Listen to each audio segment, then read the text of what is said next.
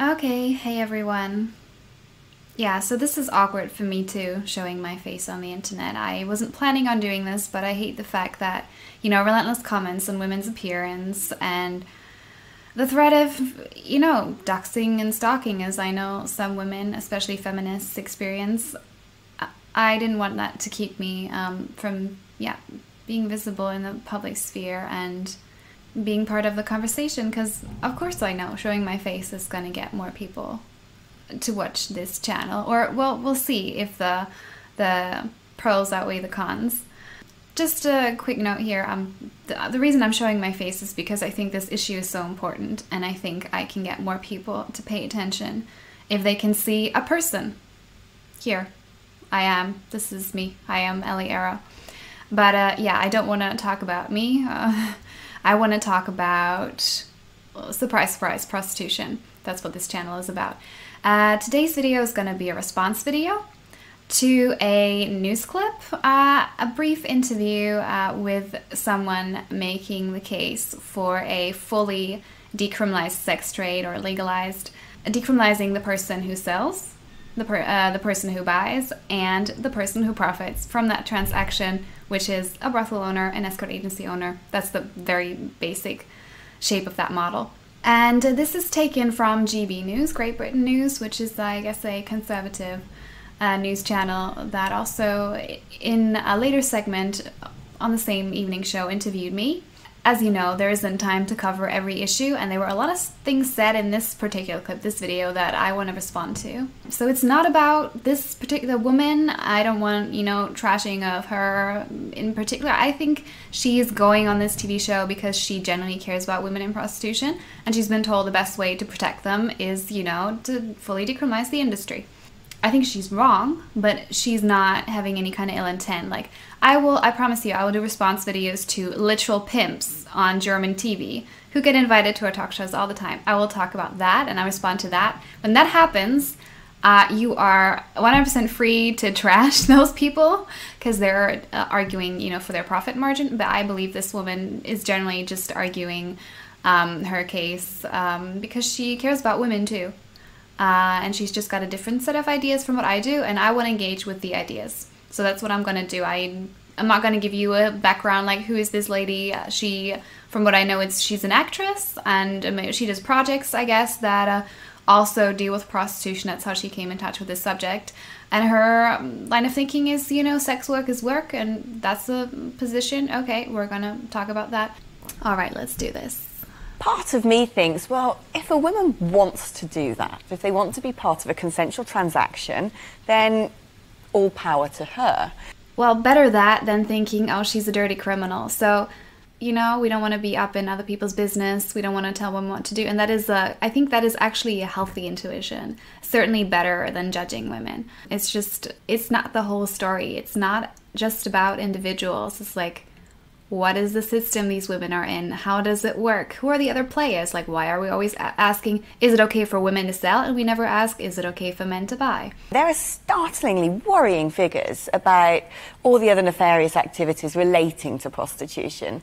Is decriminalising it on behalf of the prostitutes the best way forward, or should it be fully decriminalised or fully criminalised? Where would you stand? Um, I mean, I've discussed it. Um, I've discussed it on my podcast, Say Your Mind. I've discussed the fact that. Um, it's important for us to listen to sex workers. I think that the main issue that we have in Britain is that sex workers weren't actually consulted about whether it should be criminalised or decriminalised.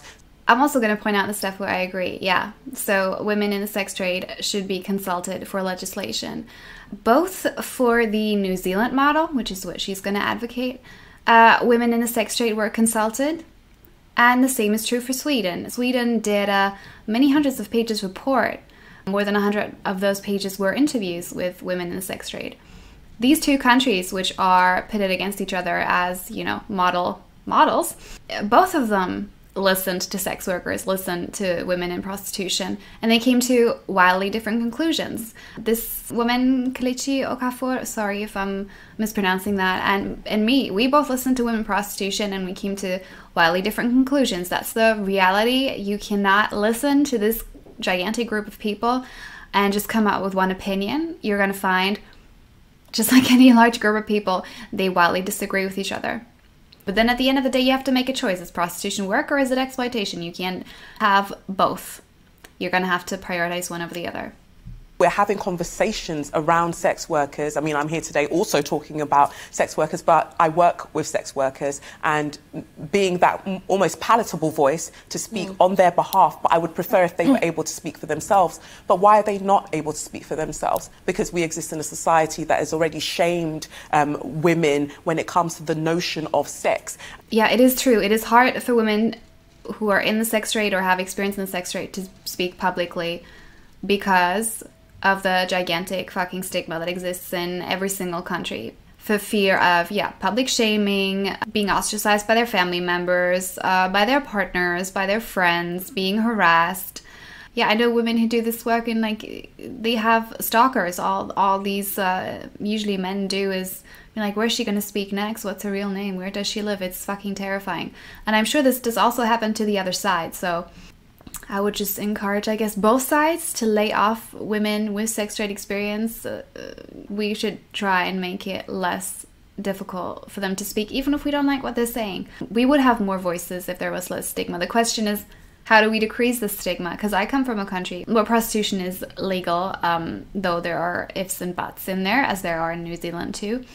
And it's still really hard for women to speak. There's still a stigma. There's still the idea, you know, women who sell sex, they are sexually deviant. They are nymphomaniacs. They may choose to do it, but that isn't interpreted as a good thing or an expression of agency or anything like that. A lot of people think these women are lazy they don't want to get a real job. This is why they do it. Um, or they're, yeah, sexual deviants and they just want to have sex all the time and they're basically unrapeable. That idea is still very, very strong in Germany. I would still wager, and you can challenge me on this, that it is harder to come out publicly and say, look, prostitution was rape for me than it is to come out and say prostitution was work. Because you're making yourself even more vulnerable if you're talking about a personal trauma a lot of the women I know, even those who have sometimes years in public speaking, they say they get panic attacks all the time before speaking publicly.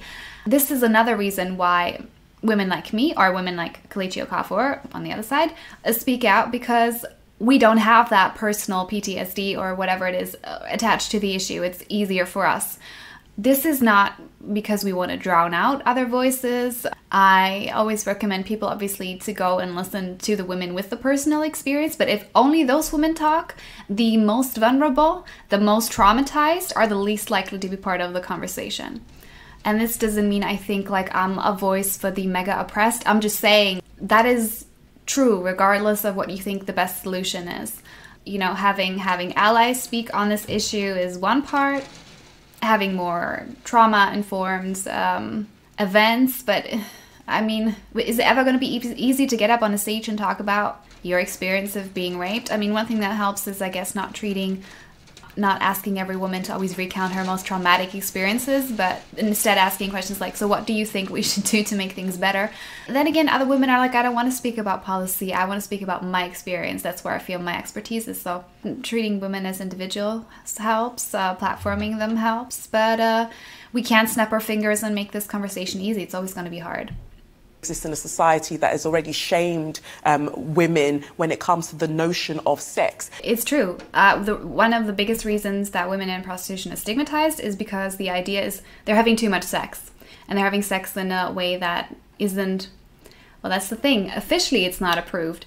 Behind closed doors, uh, of course, the patriarchy has always wanted women to be, you know, wildly sexually available, ideally, you know, in a manner that is submissive and focused on male pleasure. And uh, women also get shamed for not being sexually available. I think that's often forgotten. Like women and girls who don't want to have sex or not the type of sex that men want to have or that don't want to date men uh, are horribly shamed also. So, um, you know, in patriarchy, you can't when you're either having too much sex or too little. And the woman in prostitution is the embodiment of the woman who has too much sex. And the idea is that every man that she's with, you know, her value decreases and decreases and decreases. That's the idea. I guess I'm not telling you very new information. I'm just saying I, I agree with her. I just don't think the solution is therefore celebrate you know every situation where a woman has a lot of sex because we still have to ask about the conditions How's that sex happening? Who's actually profiting from that? Who's really making money? Because it's usually not the woman herself. Who's really getting pleasure? And it's not her either. Uh, and not just not pleasure. For a lot of women, prostitution is traumatizing. If women have been shamed for something, the idea is then not to go celebrate it, but to ask, you know, how does it actually benefit women? Yeah, and that's kind of why I feel like the other side is not asking. They just jump from instead of demeaning her, we're going to celebrate it. We can celebrate her as a person without celebrating the conditions she's surviving under. Everything exists on the spectrum. So we are looking specifically at decriminalizing or not sex work, but that still exists on, um, on the spectrum of a woman who may be in a relationship with a man who would then um, take her images and want to put it online or use that in a way to kind of um, whether blackmail or to just do things. But we wouldn't be able to do that in a society where women were able to participate equally in sex and to be seen as equal members. She is she saying women who are in relationships and take nude photos for their partners and then put them online shouldn't be shamed? Yeah, I agree. Yeah, they shouldn't be shamed. We still have to ask ourselves, how does the woman benefit from putting those images online? Because she doesn't. I mean, like like Kelechi Okafor said, then she mentioned revenge porn. I'm confused. Like, what's that got to do with prostitution? The term sex work is not helpful, one, because it's harm denying. A lot of women with sex trade experience would not like that term to be used, for them at least. And you don't know what the fuck it means anymore. Is it a woman selling pictures of her breasts online? And I'm not saying that's harmless, it really isn't, as any, you know, victim of revenge pornography knows it's not harmless. But is it the same thing as being in a brothel? No, of course not. But I agree with her that women should not be shamed whether those photos were put online intentionally or unintentionally. But still, at the end of the day, before we celebrate and ask ourselves, who benefits when, you know, pictures of a naked woman's body are online? Is, is she having better orgasms because those pictures are online or is it are you know strange men jerking off to it and she's now a threat of i don't know being recognized on the street worst case scenario but sex in our society is about power Agreed. and so when we are talking about decriminalization what are we talking about? If we're talking about power, we should surely give power to the people who want to engage in this way. If I could snap my fingers and neatly separate the sex trade into, you know, these people choose it, these don't, and then people who don't want it can get out, and the people who do want it can get, you know, happy, great, safe conditions, I would, in my opinion, with all the evidence I've seen, it's not possible. Like I said, you have to prioritize either the people who don't want to be in there or the people who do want to be in there. In my opinion, the sex trade legislation, because all the demographic data would indicate that the majority do not choose to be there, not by any meaningful measure of sexual consent. So, therefore, your legislation is not about giving power to people who enjoy prostitution, but people who want to get the fuck out because it's destroying their lives. That has to be your priority, in my opinion. That doesn't mean screw those other people, but by definition, if they're choosing it, they have alternatives. So if, uh, you know, the number of uh, buyers decreases, they have other places to go. So I would wager generally in society, ideally you try to write legislation on the basis of who's the most vulnerable. It would help us to not convolute and conflate sex trafficking with sex work. Yeah, that's the cardinal sin, conflating those two. And just to be very clear, me and most other women working on this issue and men are we're not saying prostitution and trafficking are the same. We're saying they are inextricably connected. You cannot have one without the other. One the destination for sex trafficking is prostitution. The destination for sex trafficking is the street area the brothel the escort agency. That includes a lot of legal areas and places and we have an unfortunately very long list of such cases happening in Germany being discovered. We don't know how many went undiscovered. And on this, I like to quote uh, Jürgen Rudloff, who is a famous, uh, infamous mega pimp in Germany who ran the Paradise brothel chain, who said, You cannot run a brothel without trafficking, without the help of organized crime, because you're always lacking volunteers. There aren't even enough women driven by poverty. You have to use violence. You cannot have a sex trade of the kind of size that you get when it's legal, like in Germany, without violent coercion. That's one reason why you can't separate them. When you write legislation on one, it always affects the other. Women also go back and forth, like there are women who enter prostitution with a pimp, they get rid of the pimp, but are they really in there by choice? Women who enter as minors, and then they're adults are they is it suddenly fine and consensual because they're now adults when they entered at 16 what about women who get in by choice but then later end up being uh, indebted to the brothel owner that is also a form of pimping so women transition from trafficking to prostitution back and forth all the time. The boundaries between these two concepts is incredibly blurry, as well as the fact that, in my opinion, economic coercion, you know, to, to have someone have sex with you because they need money is violence. And we recognize that when the landlord asks for sex.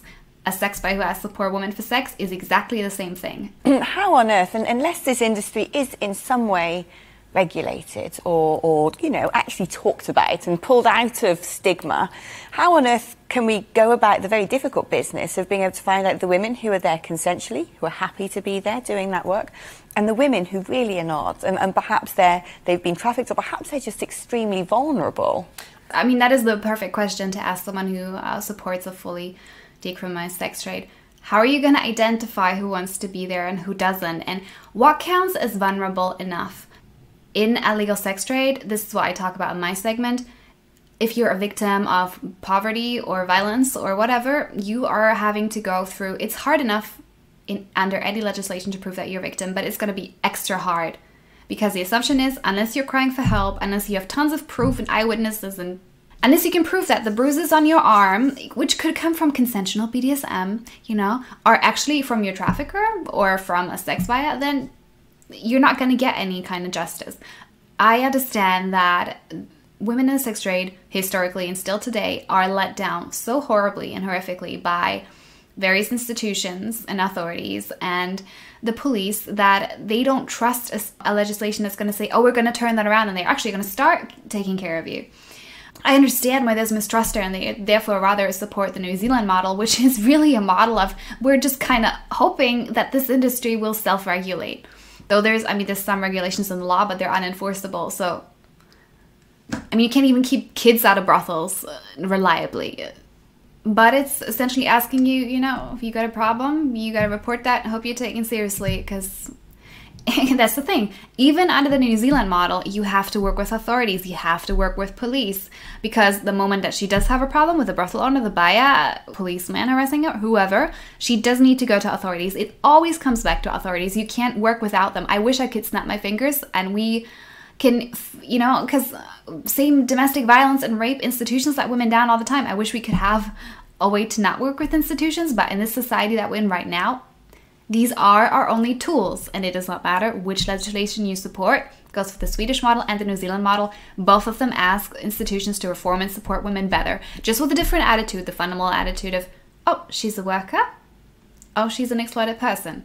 I look at the New Zealand model because most times we cite the Nordic model, but I look at the New Zealand so let's model. talk about the Nordic model is decriminalising the sex worker. Yes, but, but criminalising the client. Yes, yeah. but not the client. And the New Zealand model is and just decriminalising it. And I think they've had that since around 2003, and they've mm. seen a um, reduction in harm against um, sex workers. And I think that that's the most important thing. I'm actually not going to make the case that uh, the New Zealand model had no positive effects at all. So, what was the reality in New Zealand beforehand? It's just like Germany. New Zealand did kind of tolerate the sex trade. Male elites throughout history have always been able to buy women if they want to. And many of them were also like, yeah, our workers and our soldiers also need to be pacified. How do we do that? You know, prostitution is one method. Prostitution, of course, existed in New Zealand post colonization, not so much prior. As far as I'm aware, that was not an indigenous practice.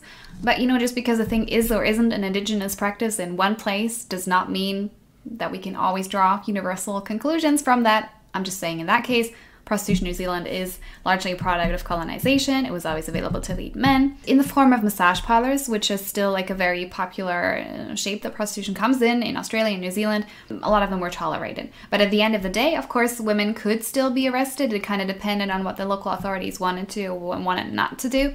It is the good thing that this law said no, these women are not criminals. These women are vulnerable. And there was a study done before, and Like I said, they did talk to women in sex trade. They found out, you know, most of the women are in there due to poverty. Where are we punishing women for poverty? That's dumb. Let's stop doing that. So you do see positive effects from this legislation where women feel like, okay, no, like we feel secure that we're not, not going to be arrested. The reality is they do still get arrested, just like Germany, if they're breaking zoning legislation, if they're violating migration. That's especially tough in New Zealand. You can get stopped at the airport if you're suspected of prostitution. You can get kicked out of the country if you're an illegal migrant.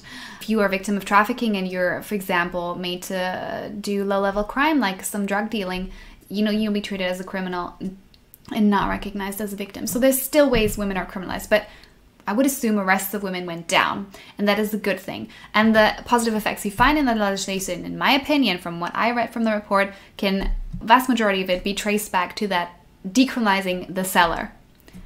There is somewhat more trust in authorities, although you'll find very important passages where you see, you know, violence against women does absolutely continue from buyers and um, from brothel owners. Although women say they feel safer, like this, feel like they could report, the reality is the vast majority still do not. The vast majority, if they're abused by the brothel owner, just move to a different brothel. The vast majority who are uh, attacked by sex buyers also still do not report. Like there's feeling safe, and then there's actually being able to access mechanisms of relative safety, you know, holding a, a perpetrator to account. And in practice, they're still not really accessible. And I think that review was done in 2008, and there hasn't really been one since. They just concluded, you know, we have beneficial effects, so this legislation is good. And now that it's really only debate about zoning and a debate about um, migrants. Should they decriminalize migrants selling sex in New Zealand? And um, in my opinion, they should, but don't decriminalize their exploiters because the reason why New Zealand kept it illegal is they realized, yeah, it, they would essentially decriminalize um, cross-border human trafficking. There's also trafficking people inside a country, but there's a topic for another day. That's why they have decided not to do that yet. You're also not allowed to open a brothel if you're not a citizen of the country which I think is, you know, keeps a slight lid on it. But at the end of the day, mostly it's still women being arrested, and that's not a way to combat trafficking. That's um, that's cruel, and this is where both sides would agree. We just again disagree about the solution. Yes, you can find ways that it has benefited women, but it is still so far from good enough. And you will find an increasing number of survivors from New Zealand telling you, look, this is ways in which it's gotten worse vastly disproportionate exploitation of indigenous women, vastly disproportionate exploitation of migrant women, even though that's entirely illegal. There's a huge number of Asian women, and the same as Germany, you see a decrease in prices. There is a report by the Coalition Against Trafficking in Women that outlines exactly how the developments in New Zealand after their 2003 law are essentially the same as the 2002 German law, even though we pretend by calling one decriminalization and the other legalization that they are very different. That was a very long answer to her saying one sentence. the more that we push sex workers into the shadows, the more dangerous it actually becomes for them. And if we say that we're going to criminalize the people who purchase sex eh, or, you know, purchase any sort of service within that realm, then what that does is it makes it a buyer's market and it makes it even harder for these people to make a living and it makes it very dangerous for them as well because they can't really pick and choose who they actually want to engage with. And I mean, like I already said, the reality is you see a fall in prices when you legalize the sex trade because competition increases. Everyone gets to get a piece of the pie, and by everyone I mean mostly pimps. It becomes so lucrative to traffic in women from abroad and to exploit local women that actually women are earning less, not more. And that also means they have less choice. And most women in sex trade don't even have choice of a customers. Only like the top 10 or 5% do. Like I already outlined, if you can't even have legal mega brothels, like in Germany, with hundreds of rooms and hundreds of people in the building, you cannot keep exploited children out, you cannot keep gangs out, you cannot keep drugs out, you cannot keep murder out, then what the fuck are you talking about when you say women in the shadows, it's bad? It's bad when it's in the light.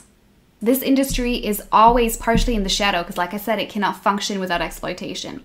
That's why it has to be in the twilight. Always. It has to be accessible to the buyers. They need to be able to find it, but it has to be in the dark enough that it's, you know, we can't always waltz in and get the kids out, get the trafficked women out, get the dr- drug addicted women out. That's the nature of the industry. No legislation will change that. No legislation can make prostitution truly safe. And the safety mechanisms that she's going to talk about, like I said, are not accessible to most women, no matter what your law is. And so they're having to maybe engage with more people or different types of people that they wouldn't usually um, take on as clients. Literally, if you read reports by sex trade survivors in New Zealand, they said after the law, after the 2003 law, sex buyers became more demanding they asked, um, they were more demanding about not using condoms, even though that was a mandate in, in New Zealand. It wasn't in Germany, by the way. They became more brazen, they became more entitled, they became more violent, the market became more competitive. Things got worse. Uh, a lot of women that I've spoken to who have experienced New Zealand sex trade say it's like the Wild West.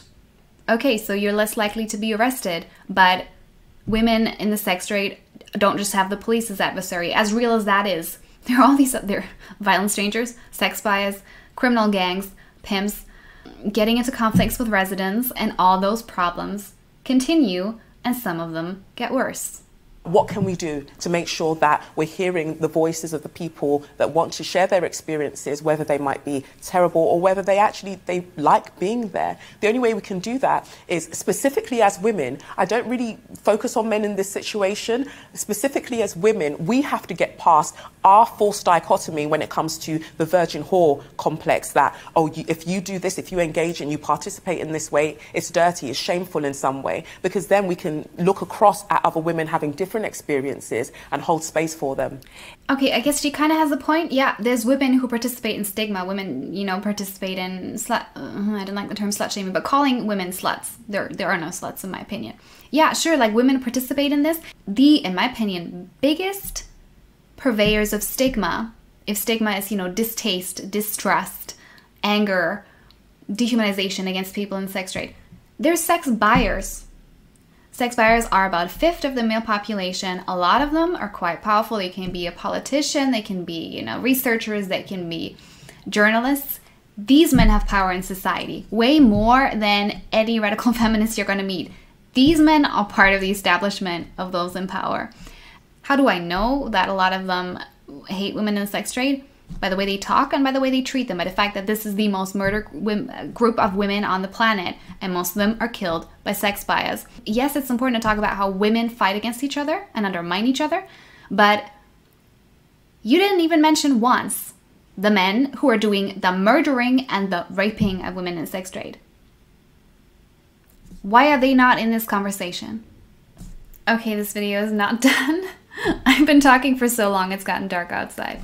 So I have to turn on the lights and get this, you know, great lighting going here. Is there not a risk, though, that via, via fully decriminalising sex work, in order to protect those people involved in that industry, that there's a risk of potentially normalising the concept of a woman's body being for sale? That is exactly what happens. When you normalise the sex trade, you normalise a certain type of, well, the sex buyer's gaze. Every woman who walks down the street could have a potential price tag. How much for her? How much do I need to get into that? That is certainly a mentality that a lot of sex buyers acquire that gets strengthened in society. So you have more harassment. For example, this is a worldwide plague, but it becomes even more pronounced. You have landlords harassing tenants for sex, because why not? It's just an exchange of a service for something of monetary value like rent women in service jobs get chronically harassed, horrifically harassed. You know, waitresses, these kind of jobs because the assumption is yeah for a little extra you know i'll just ask her to come to my hotel. A lot of the you know women i know who are students and then do part-time jobs say this happens all the time. And it wouldn't be and it's legal right? So she can't say oh i'm, I'm being harassed here. It, it's a job offer uh, this gets worse. Then, obviously, in the situation in legal sex trade areas, which are obviously the poor part of town because no one wants a brothel next door, so it's pushed on poor people. And then, poor women and girls who live in these areas have to live with chronic harassment from street uh, crawlers, uh, sex buyers, and pimps. And yeah, growing up being like, well, you know, if my life goes to shit, then I'll be standing there or I'll in the window or on the street or wherever things are especially bad also for migrant women in Germany, and this would go for Great Britain too, Eastern European women. So there are men who say that they can't even hear the Eastern European accent without, you know, getting sexually interested because the assumption is, you know, they hear that accent in the prostitution context. So their instant association with an Eastern European woman is, you know, what's her price tag? How can be that Eastern European women or other minorities, for example, trans women, how can they possibly have equality in society when there is a significant number of men walking around just wondering about their price tags, wondering what can this person do for me sexually, instead of seeing a human being, what at best service, at worst, you know, brutal sexual sexual submission can that person do for me? I think that's really, really interesting because is it only in sex work that a woman's body is for sale? Literally everywhere a woman's body is for sale. People are chosen to be, you know, the poster people for various organizations because subliminally we are selling sex all of the time. We're selling women's bodies all of the time. The issue here is the woman having the autonomy to describe and to dictate um, the, you know, confines within which that transaction is going to be made. Just because it happens everywhere doesn't mean you can't point to where it's particularly bad. Okay, so there's racism everywhere. But why can't I talk about if it's particularly bad in one area or in one city or in one time period? Women's bodies are objectified everywhere, but no, advertising is not the same as prostitution. It is true that there's an overlap between the modeling industry and the sex trade, but she's not even going there with her analysis. Her analysis just like society's already doing it all the time, so why not take this version of it it's bad logic. Women's bodies are objectified in many places. We need to end all of it. And just because that happens doesn't mean you can't say that the prostitution is particularly bad because you know, whether you're in retail or you're a waitress or you're on a desk job or you're an engineer or you're a teacher or you're a doctor, you do not have men writing reviews about your breast size, your butt size, how tight your vagina was, how tight your anus was uh, rating on the basis of your skin color and uh, your age, uh, your fuckability. And if they did, that would be considered harassment. They're certainly not rating the inside of your body because only in prostitution do they get to access that. And that's not to shame women, it's to explain the level of vulnerability and dehumanization that goes on. I, uh, I might make a video where I just list this off the the um, the health risks associated with prostitution because there are some of there in that list that don't exist for literally any other job. Yes, we are objectifying women in many many places. No, we're not selling women's bodies everywhere. If you still feel inclined to make that comparison again, I'll, I'll make a video about the health risks and I point you to. I'll put a link down below the reviews that men write and just read what they say about women and what they do to women and if you really think that's just like your job in which case i think you have a right to go to hr asip go to a human rights tribunal really if your job is just like prostitution I would go as far as to say marriage traditionally is the selling of a woman's body, really, but people have reclaimed that. They found romance in that. Okay, yeah, this is a tricky one, huh? Yeah, marriage historically has a lot in common with prostitution. One, because literally families were selling women to uh, another tribe, another group, a more powerful man. They might rise in status if their woman, their daughter's sister is married to the right duke. Yeah, no, it's true. But just pointing at, you know, we have problems over here and we have problems over here. Like it's a whataboutism. It is. As feminists, of course, like we critique marriage. Do I think marriage can be reclaimed? That's maybe a longer debate for another day. I think it is natural and normal, that most people want to live in some form of partnership, that that partnership might take certain formalities in a society I don't think is necessarily inherently bad. It matters what is at the core of that. Is it about two people loving and taking care of each other, or is it about wanting to possess another person? So I don't agree with her necessarily, though, that, uh, well, Romans many feminists have done great critiques of romance that romance is another way to make traditional confining or dangerous roles amicable to women. Yeah and a lot of us feminists we quite happily abolish marriage at least the form that you know uh, for example makes a lot of women financially dependent on their husband. That's a huge issue. That's how you know women uh, a lot of women end up in in prostitution um, because uh, they're of the the financial debts of their husband these things also go hand in hand, unfortunately. Um, do I think prostitution marriage are the same? No, they're not exactly the same. They have historic similarities. They still have overlaps and problematic aspects uh, that they both have today. But we're increasingly saying women need to have their own financial independence, uh, their own support system, so that if things go bad, they can leave and they have a community to back them. That's, I guess, my very short summary of what I support. I'm not a separatist, and I don't think separatism is viable for most women. But if someone would want to do that, you know, all the power to you. But again, don't think prostitution can be reclaimed because in a partnership, in a relationship, I can see what a woman gets from that. I can see how it benefits her too. In an ideal situation where people are respectful and loving, there is obvious benefit to the woman. There isn't in prostitution. Literally, only benefit to women in prostitution is she has money. And in I hope in a functioning fair society we can have ways that women can have resources and housing and what they need and nice things without having to resort to that. So yeah, but okay, we can debate this uh, some more if you guys want another time or in the comments. Why can't we start looking at ways, the nuances when we talk about women and power and bodies and sex specifically? What are we saying?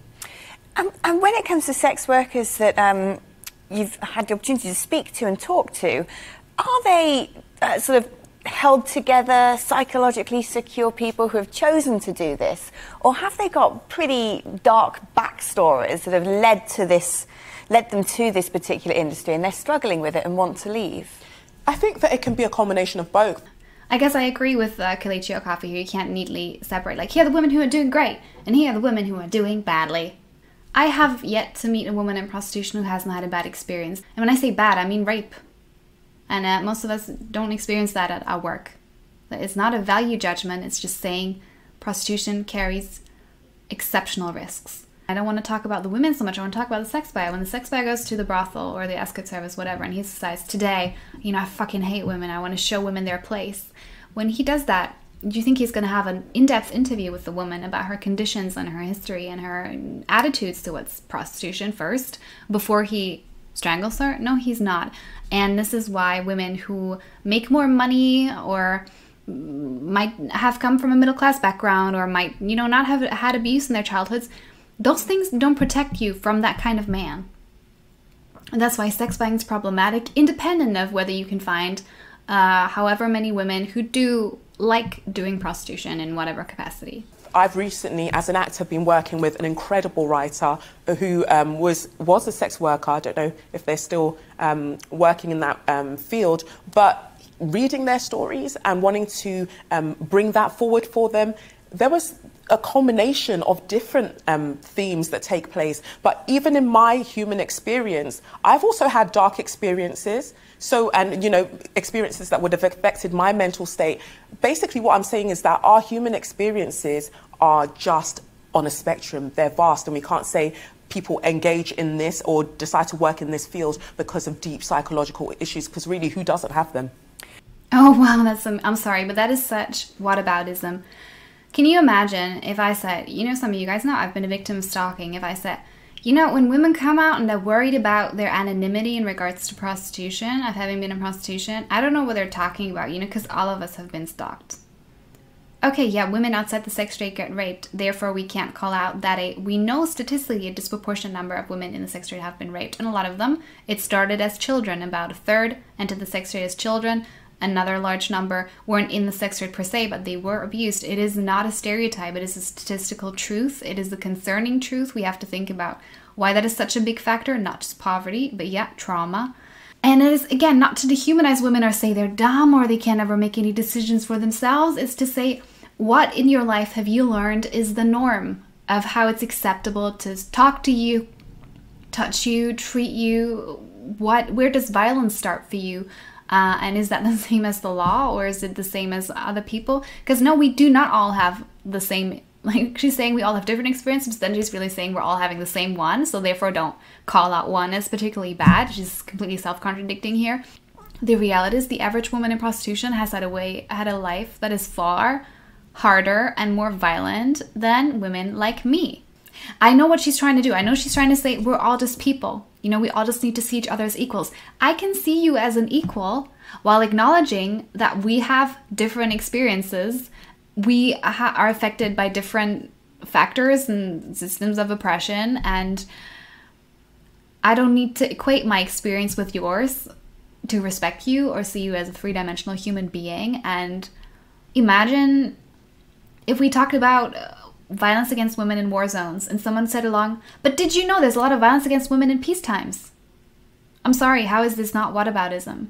In terms of, you know, if you were to decriminalise, not you, but if this country were to decriminalise prostitution, do you think the model should be something a bit like Amsterdam, where, you know, you end up with red light districts and, and windows where women are able to advertise their wares, so to speak? Or is that sort of taking the concept too far? What would be a sort of good model? Is it brothels? Is it red light districts? Or is it actually just decriminalising it and letting women choose how they go about soliciting?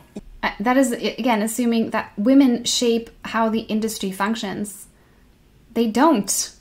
Economic factors, migration factors, the climate, infrastructure, laws, authorities, pimps, and sex buyers decide where prostitution takes place. The demand and the people with the actual power, the people who own the brothels and the escort agencies, which are rarely the women themselves, and even if they are, that doesn't mean you don't face violence.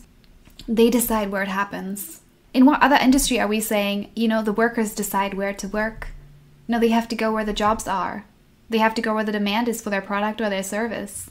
Yeah, I think the healthiest thing that you or I could do in this situation is say that we don't know. We have to see. But from what I've been told, the New Zealand model is really what a lot of sex workers would prefer. The street statistically is um, more unsafe because the prices are low, the disrespect is high, the ability for the buyer to drive you in his car to very you know, foreign location is, you know, he's got a lot of power there. But brothels is still very dangerous. Escorting is dangerous. You're going to a place you've never been uh, where who knows however men, many men might be waiting there for you. You don't know your escape route. So escorting is often seen as quite safe and it's not it's quite dangerous actually. It's not necessarily even expensive.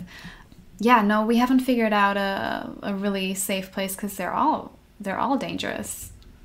All i can say is that yeah indoors seems to be from what i'm seeing slightly better than street but then maybe you know we got more statistics on the street because that's more visible so it's hard to say and the fact that we don't even have clear statistics from countries where prostitution is legal shows you again that trying to pull it out from under the shadows, out of the twilight, is not possible because that's how the industry works. It evades control, it evades even statistical evaluation. Because from what I've heard about um, how it sort of operates in Amsterdam, the power still ultimately remains with men, and they can have like super clubs and they can have all of these things where yeah. sex workers aren't really being paid very well. So it might look all glitzy either. and glamoury, but they're not getting much in that. And in undocumented people also can't still participate in a safe way in that industry.